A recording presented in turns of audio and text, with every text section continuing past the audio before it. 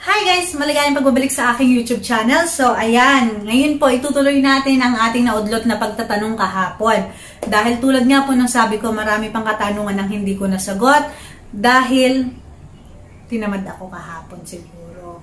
So, ayan. Ang una po nating sasagutin ay si ate na ayaw ipamention ng kanyang pangalan dahil po ayaw daw po niyang makita ng kanyang mga magulang. Ang kanya pong katanungan ay, ate, gusto ko lang sana ng advice hindi na kasi ako makafocus sa pag-aaral ko dahil lagi na lang kami nag-aaway ng boyfriend ko kahit na maliliit na bagay, ano po ba ang dapat mong gawin? Ang dapat mong gawin ay mag-focus sa pag-aaral mo dahil para yan sa kinabukasan mo.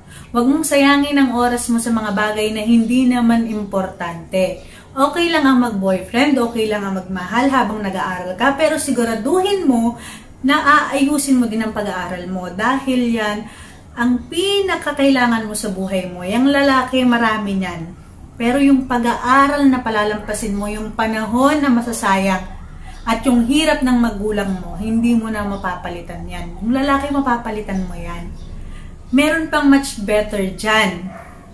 Okay, kung nag-aaway kayo sa maliliit na bagay, siguro dahil mga bata pa kayo. So, ang gawin nyo pareho, mag-focus kayong dalawa sa pag-aaral unahin nyo ang pag-aaral nyo dahil para yan sa kinabukasan nyo. So, ang sunod nating katanungan ay galing kay Kuya JB Ordinario. What is our purpose in life? Our purpose in life is to live. It's so simple. ba? Diba? Yun lang naman talaga ang purpose natin sa buhay na to eh. Yung mabuhay tayo. Karamihan dyan depressed, karamihan stress. ba? Diba? Wow, tayo napunta sa depression. Pero 'di ba, ang dami-dami diyan na tumatakbo sa isip nila yung not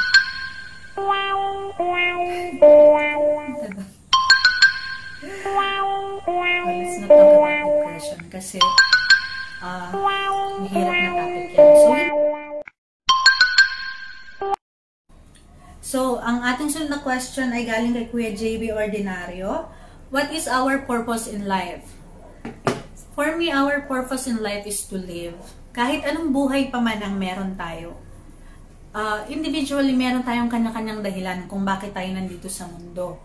Pero yung dahilan na yon, tayo mismo sa sarili natin ang makakaalam nun. Walang makakapagsabi kung bakit tayo nabubuhay sa mundo, kung bakit ka nabubuhay sa mundo, or kung bakit siya nabubuhay sa mundo si God lang ang nakakaalam nun. But generally, sa ating lahat, ang purpose natin kung bakit tayo nandito ay para mabuhay. Kahit anong klase ng pamumuhay pa man meron tayo. Ayan, so ang sunod nating katanungan ay galing kay Kankan, Matthew. Paborito mo ba madam yung medyo may edad? So, itong tanong na to, hindi ako na-offend. So, kayong ano dyan, kayong judgmental. so, hindi naman sa paborito ko yung mga may edad, pero mas gusto ko talaga yung mas ahead sa akin kasi mas may matututunan ako doon. Mas mag-grow ako sa ganon. Kasi matured na sila mag-isip. Alam na nila kung ano ba ang gusto nila sa buhay. Meron na silang mga plano. May patutunguhan na. Minsan kasi, kapag uh, makikipag-jowa ka sa kaedad mo lang, karamihan lang na naging problema nyo.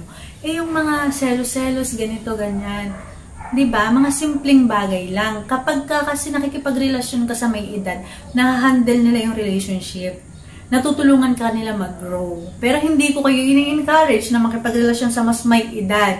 Okay? Mahalin nyo yung gusto nyong mahalin. Pero siguraduhin nyo na may matututunan kayo dyan. Ito na ang ating last question for today. Love life po sana ang itatanong ko. Paano nyo po na-handle yung relationship nyo? Kasi yung BF ko po, mas ahead po yung age niya sa akin. So, hindi niya rin sinabi yung pangalan niya. Ayaw niya ipasabi yung pangalan niya. Paano ko na-handle yung relationship ko? Hindi ako yung nag-handle. Hindi lang ako. Dalawa kami. Kailangan kasi sa relasyon, kailangan dalawa kayo na nag-work.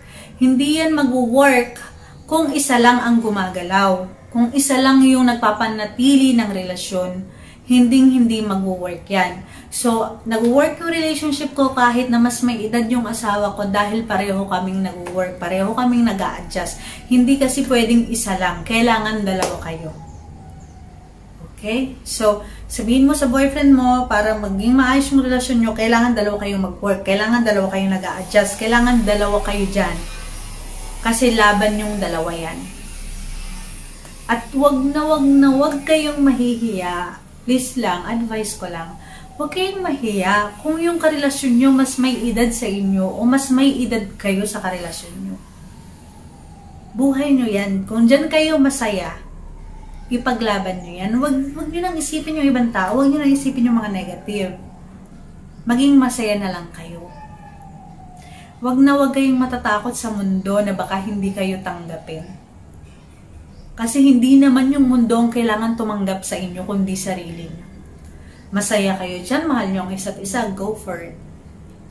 Huwag nyo na isipin yung ibang tao. Gumaya kayo sa akin. So, ayan guys, dito na po tayo natatapos.